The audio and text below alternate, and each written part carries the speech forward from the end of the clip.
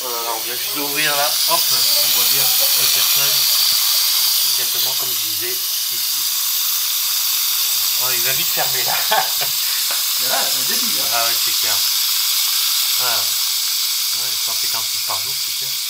Et il y a autre chose dedans, c'est juste ça? Non, mais là, il vaut mieux couper ce petit tuyau et puis euh, jusqu'ici. Et puis Ah, on c'est part sur un tout neuf là, de, inflexible, même inflexible.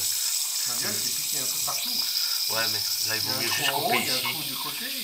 Ouais, mais c'est pour ça qu'il n'y a pas besoin de, de tout casser. On coupe là, Ouais.